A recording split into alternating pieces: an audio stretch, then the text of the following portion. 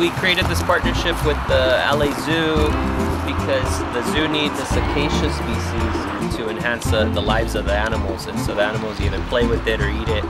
Um, it just stimulates their mind. And so we, we're creating habitat in this area and acacia is an invasive species. And so what better way to get rid of it than to uh, you know, give it to the zoo, which is actually looking for it.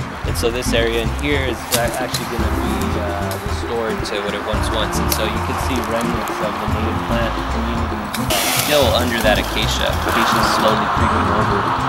And so we're, we're going to push back on that acacia. So that's all invasive, non-native species, huh? Yeah. Wow. You can see how it starts to take over. Yeah. It creates a, a monoculture. It's just trying to create one species there. As opposed to what's under, you got a diversity of native plant species. Uh, we basically went to the Conservancy in Palos Verdes and cut down some acacias, bundled them up, and tossed them in the truck and brought them over to the zoo. Um, I mean, the good thing is, is that, you know, it's an invasive, you know, brush. They look like trees to me, but, um, so it's great. They needed to clear it, some natural habitat they're going to restore right now, so it's great. It's a win-win for everybody. The Conservancy was able to have some help clearing some of their, you know, invasive plants, and the zoo was able to get some of these plants for the zoo animals that they use and that they have to collect anyways. So um, it's a kind of win-win for everybody. What do you got back there?